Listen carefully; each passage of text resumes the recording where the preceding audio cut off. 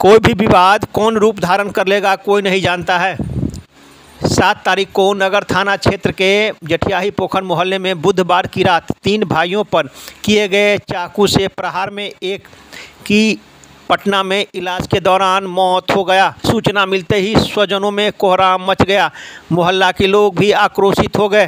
Police के खिलाफ जमकर किया नारेबाजी। वहीं पीड़ित ने बताया कि पचास रुपये के लेन देन में इस प्रकार की घटना घटी। पीड़ित परिजन ने बताया कि क्रांति नाम का लड़का वहाँ खड़ा था। हम लोग भी आपस में पैसे की लेन देन की बात कर रहे थे। आपस में पैसे की लेन देन की बात की। इसी पर क्रांति राम की माँ को लगा कि वह हमसे पैसा मांग रहा है। इसी को लेकर क्रांति राम से थुथु मैं में हो गया। उसके बाद विवाद बढ़ता गया। पीड़ित का कहना है कि क्रांति राम ने पुलिस को दी जानकारी। मौके पर पहुँची पुलिस। बात आगे बढ़ गया। इसी क्रम में क्रांति राम ने वहाँ खड़े तीनों भाई पर लगातार प्रहार किया, जिस तीनों भाई पर प्रहार किया अनन फानन में डीएमसीएच भेजा गया। क्योंकि पुलिस वहाँ मौजूद थी, पुलिस के जीप से ही इस लोगों को डीएमसीएच भेजा गया। लेकिन एक का गंभीर हालत देखते हुए पटना रेफर कर दिया, जिसका नाम कुंदर नाम था। लेकिन उसकी मौत हो गई। लेकर आज मिर्ज़ापुर चौक पर कई घंटों तक रहा जाम, मचा रहा अफरा तफरी का माहौल। कई थाने की पुलिस पहुँची। पूरा क्या मामला है, क्या घटना घटी, वहीं पीड़ित का क्या कहना है, उन्होंने प्रशासन से क्या मांग किया है? इन लोगों का कहना है कि पुलिस प्रशासन के बीच में ही सारी घटना घटी। क्या पूरा मामला है? क्या वहाँ का आज दृश्य था? सुनिए और देखिए। मिर्ज़ापुर जाम स्थल पर पहुँचे सदर एसडीपीओ कृष्णनंदन कुमार। उन्होंने मीडिया को बताया कि जो दोषी लोग हैं उन उन पर कार्रवाई की जा रही है लगातार छापेमारी की जा रही है। या तो वो सिलेंडर कर दें पुलिस लग, लगातार छापेमारी कर रही है। उन्होंने कहा कि जो पुलिसकर्मी इसमें लापरवाही बरते हैं उन्हें निलंबन की कार्रवाई भी की जा रही है। इन्होंने भरोसा दिलाया कि सभी दोषी जल्द होंगे गिरफ़्तार। उसके बाद जाम हुआ समाप्त। दरभंगा दर्शन न्यूज़ से मनोज झा। संजय शराबी मुर्दाबाद। मुर्दाबाद क्रांति खूनी खूनी है। उसको फांसी का सजा मिलना चाहिए। मिलना चाहिए मिलना चाहिए। नौ नौ बजे। नौ बजे घटना परसों नौ बजे घटना सात तारीख के नौ बजे रात के सात तारीख के घटना घटना के पीछे क्या कारण क्या क्यों घटना हुई थी? उसका माँ कराने का माँ दारू पीता। सात तारीख के? अब पी के मोहल्ला में गाड़ी करो करता मेरा बच्चा हँसी मज़ाक कर रहा था मज़ा। मेरा बेटा सुता हुआ था कौन और घर आके तुमको हमने कुछ बोले। ये नहीं कुछ बोल। दिया और कमागार जाके तू कुछ बोले। ऊपर बेटा निकला, लफर थप्पड़ मार के मार के चल गया तो थाना तो थाना वाला का रुपया दे दिया। वहाँ से आया तो थाना वाला के ज़बरदस्ती घर में घुटा था। तो थाना वाला आया। उसके सामने में हरिओम के बेटा लक्की ड्राइवर मारा क्रांति अब नीचे महला वाला मनोज के बेटा है। निहालवा निहाल है हरिओम बाँस ले लेता कोई रट लिया हुआ था। आई क्रांति। हरिओम रट लिया हुआ था। सुखी छोड़ा सुलचना के बेटा रट लिया हुआ था निहाल बा। निहाल नाम हाँ आ क्रांति आई छौड़ा पिक्की चौड़ा पंद्रह सोलह साल की लिया था बिना फ़िल्म दुनिया में। मारे ही काले मारे ही काले। कहाँ पे घर में है या रोड सड़क पर? रोड पर रोड पर रोड पर। रोड पर भी महिला का मोबाइल है।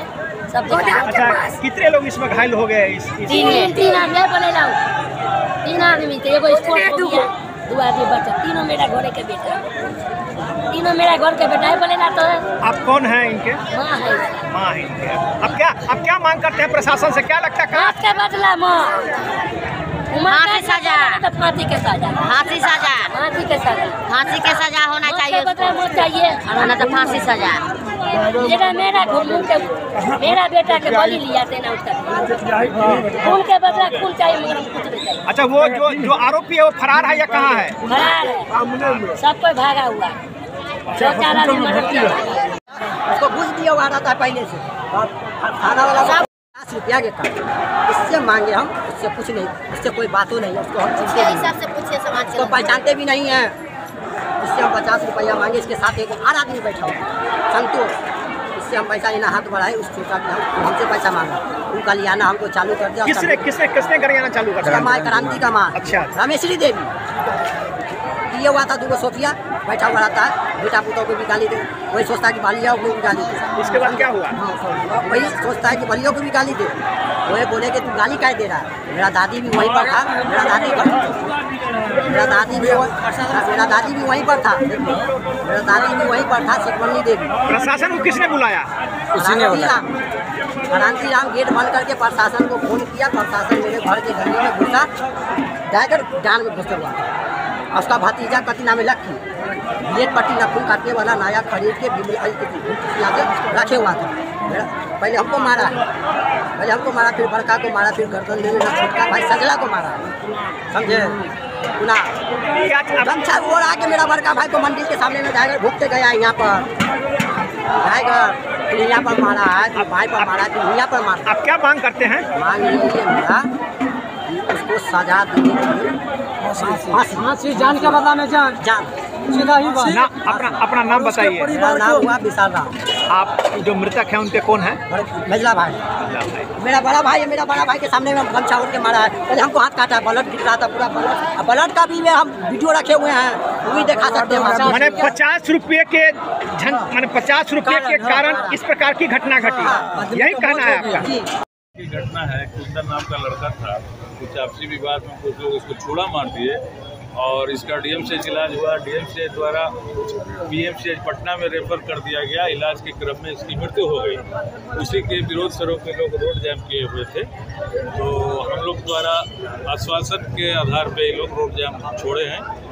और हम लोग को जो मुदाले हैं, उसके अभियुक्त हैं, उनके विरुद्ध कार्रवाई कर रहे हैं।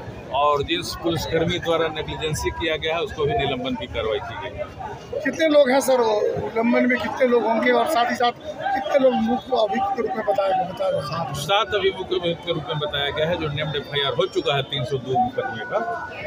और इनके विरुद्ध हम लोग लगातार छापामारी कर रहे हैं। अगर नहीं सरेंडर करते हैं तो इनके विरुद्ध हम लोग जब्ती की कार्रवाई यथाशीघ्र करेंगे।